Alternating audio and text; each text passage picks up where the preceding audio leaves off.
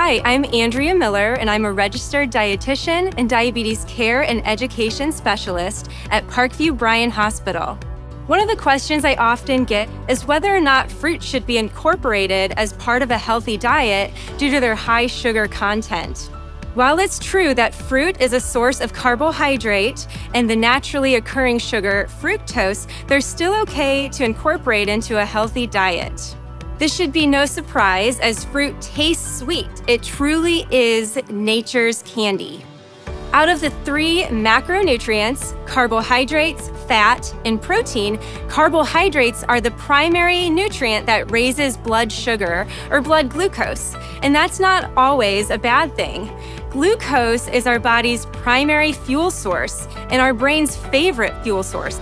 Our body needs glucose to function, and we use it to make energy. Not all carbohydrates are created equal. The key is to choose carbohydrates that are packaged with nutrients and not empty calories. Fruits are packaged with nutrients such as fiber, vitamins, minerals, and antioxidants that are an important part of our diet. Studies consistently show that incorporating more fruits into your diet can help to protect against diabetes, heart disease, cancer, and many other health problems. If we look at blue zones in the world where people live the longest, their diets are consistently rich in fruits as well. Of course, portion control is still important when it comes to fruit. A serving size of fresh or frozen fruit is about a cup. Portion sizes of canned and dried fruits are a little bit smaller. I'd recommend sticking to about a half cup of canned fruit and about two tablespoons of dried fruit. Fruit juice is a less nutritious option because it doesn't contain any fiber, so enjoy that in moderation. I would recommend limiting your fruit intake to about two to three servings a day for best health.